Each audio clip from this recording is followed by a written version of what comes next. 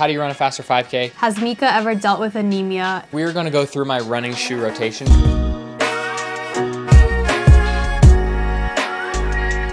All right, everybody. Today we are doing a Q&A. We are going to talk all things running and training. A couple days ago, we asked for some submissions on Instagram for questions that you guys have. So we're gonna go over the common questions. Let me give you guys a quick update on where we've been. The last time you saw me was three weeks ago. Just finished up a 5K, first 5K on the track in two years. You know, it didn't go that well. I'm gonna have like nightmares about that for the whole rest. But I complained about it on last week's video. So if you wanna see me complain, go check that out. Last three weeks, I've been training really hard. I stepped up my mileage and I stepped up my workouts and, you know, just kind of been focusing more on getting back into shape. It's kind of like in movies, TV shows, anime, whatever, that the main character, they get their butt kicked. Then they go through like a little training arc, training montage, and then they come out of that even better and stronger.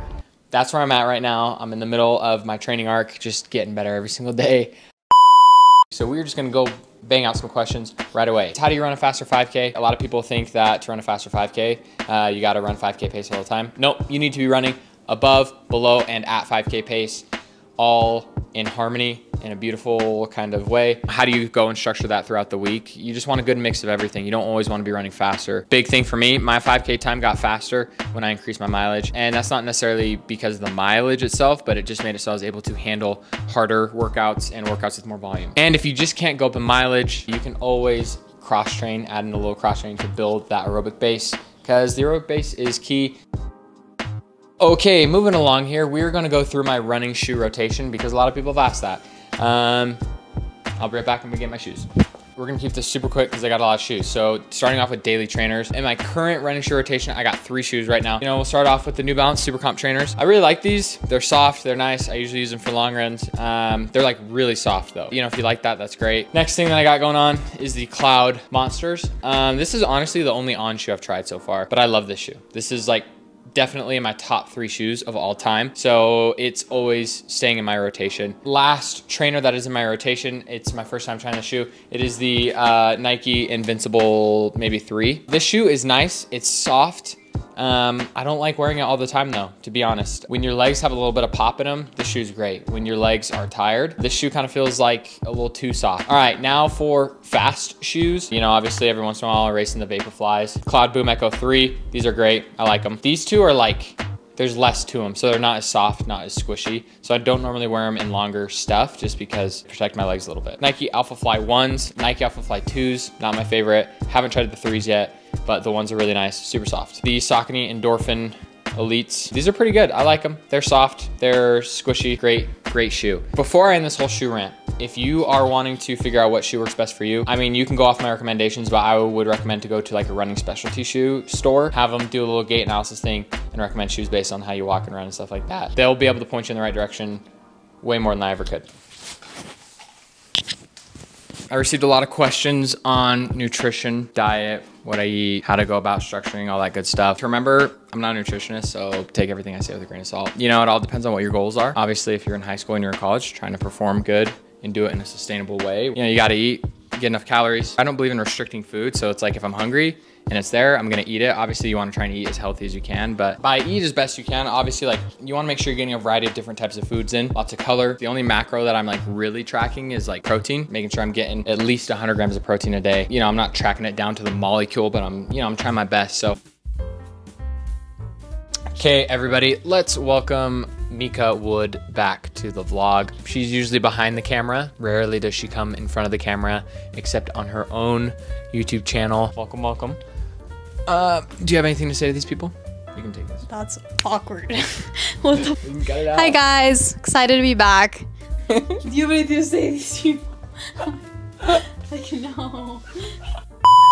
As many of you know, Mica and I, we share an Instagram channel, so a lot of the questions had to do with either both of us or her. So I'm bringing her on so she can kind of help tag team some of these questions.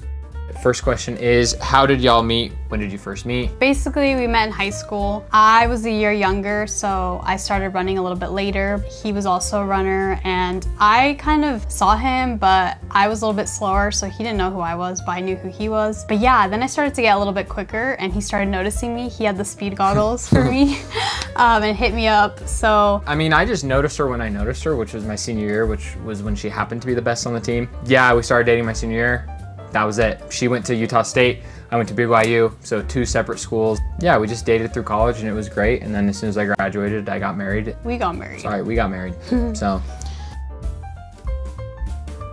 Next question is, what were your high school times? What did you run as a high school freshman? So for me, freshman year in the mile, I ran 452. In the two mile, it was probably like 11 minutes. I can't remember. Didn't run the 800. Sophomore year, I went from 452 in the mile to 426, 953, and then like two flat, okay? Junior year, 423 in the mile, 913 in the two mile, and then 158 in the 800. And then my senior year, 417 in the mile, 913 in the two mile, 156 in the 800. Um, honestly, I kind of blinked out all of my high school time, so I don't really remember like year to year. I feel like we both progressed pretty well throughout high school. Okay, uh, next question that kind of goes along with this one is what was our mileage in high school? I don't remember my different mileage from year to year, but what I do remember is that I basically peaked at 40 to 45 miles per week. Uh, but yeah, coach wouldn't let me get much higher than 40-ish miles per week. Yeah, same. I think one week I ran 50, but that was only one week my whole high school career. Wait, Most, you ran 45 too? I ran 50 one year. It was the year you graduated. So it was my senior year and 50 miles for one week. That's actually crazy because that's way higher mileage. Yeah, he, he let us like go higher at the my senior year. Next question is for Mica specifically. How is the Peru running process going? Is it different than here in the US? So right now I'm currently working on like switching over my allegiance from World Athletics from the US to Peru. I traveled to Peru like a few weeks ago just to get that process started and do all the paperwork for that. I don't know how to explain it, but the world rankings is like Basically, in the US, we have the Olympic trials, and if you are top three and have the standard, you get to go. In Peru, it's not like that. You can take top three at the national meet. Even if you do have the standard, there's still a possibility that you don't get selected. That possibility is low, but Peru also honors world rankings as well. So even if you don't have the standard, but your world ranking is high enough in a specific event, they still get to select you if they want to. So. But yeah, my main goal is just to compete at the national championship and hopefully do well there and just kind of get my name out there in Peru because not a lot of people know who I am. And yeah, are you guys currently self-coached or do you have coaches? For me, I currently have a coach. His name is Rory Linkletter. He's in Flagstaff. We were teammates at BYU. He actually just ran the Olympic Standard in the marathon, 208.10, so shout out to him. He also has a YouTube channel. And then Adam coaches me. I think it's really important to have a coach because being self-coached is way too hard. You have to make really tough decisions. And I honestly don't like to think about any of those decisions. I just like to do what my coach tells me. Obviously, you know, work with them and cooperate like what you want to do. But it is nice having a coach, so. Is Mica's diet the same as Adam's? Personally, I eat a lot, but Adam, next level. He always has like second dinners, second lunches. I should uh, do a what I eat in a day though. That'd yeah. be fun. Coming soon. What training did you focus on to take your time down to sub 16 minutes in the 5K? In college, I tried to break 60 minutes so many times and it was always really hard. Um, 5Ks never came easy to me. And I think what really helped me this time around was really focusing on 5K specific work. So yeah, Adam wrote me some workouts that kind of helped my confidence and helped me be able to feel like I could run that pace for three miles straight. I feel like I'm pretty good at the strength, but it would just needed to be more intense 5K specific workouts. Has Mica ever dealt with anemia? If she has, how does she maintain good iron levels? Anemia is like a huge thing I've struggled with in the past. I think my iron was at a 10, so not ideal. Normally you want to be above 30 to like somewhat feel good Above 30 at least. Yeah. For runners, it's like probably higher than that. Yeah, honestly, anything over like 50, 50 yeah, yeah, anything over 50 you're solid. But yeah, a 10 wasn't ideal. So I just took the like prescribed pills that my doctor in college gave me. Um, but those didn't work. For me, I'm not able to absorb it as well. I got iron infusions and I would get them like once or twice a year and that would really help me. Now I don't have the luxury of getting iron infusions. We're broke. Yeah, we're broke. So what I'm doing now is I'm taking liquid iron. Do you guys plan on having kids? The answer is yes, we are going to get Project uh, Kipchoge started young. I mean, he's gonna be running every day. Um, he's joking. All right, so if you guys are ever wondering why sometimes I don't come out with videos as much, it's for what exactly what happened this morning. We had a workout today, three by two mile. I was gonna get some footage, answer some questions along the way, but I spent 30 minutes looking for my watch. And now I'm in a rush and hopefully I can get the workout in today. So we're just gonna answer one question, and that question is, how do you deal with bad workout slash races? You know, we'll see how this workout goes. I'm gonna give you two answers. I'm gonna give you the ideal answer, and then I'm gonna give you like the more realistic one. The ideal answer is first, you gotta get rid of the thought of having a bad race or workout. Um, there's no such thing as a bad workout. You're out there every day trying to get better. How can you have a bad workout? It just doesn't make sense. Okay, anyway, so that is the uh, ideal answer, but that just doesn't work in the real world because you get disappointed. Best advice for that is to kind of, you just gotta get over it as quickly as you can. You know, we've all heard about the 24 hour rule, memory like a goldfish, where you take what you can learn and then you move on quickly. And I think this is very valid because if you sit and you ruminate and you're just thinking about a bad experience and a bad race, um, that's only gonna hurt your self-confidence. That's only gonna hurt the vision of yourself. And you don't wanna identify with a bad race. You know, you're, you are not your worst race, if that makes sense.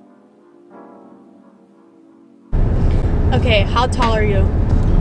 Okay, actually, I'm really glad that we can clear this up because people in my comments the other day were saying I'm the same size as Mantz, Connor Mantz. And if you guys have ever seen Connor Mantz, you know that he's not the tallest dude on the planet. And I promise you, I'm taller than that guy. You know, I'm not gonna speculate at what Mantz's height is at, but I'm 5'10. I'm like 5'10 and three quarters. Okay.